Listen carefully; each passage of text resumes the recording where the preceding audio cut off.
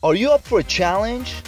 Do you have what it takes to eat an 18 inch gyro in less than 5 minutes? If so, click on the link right here and sign up now to have a chance to participate in this epic event.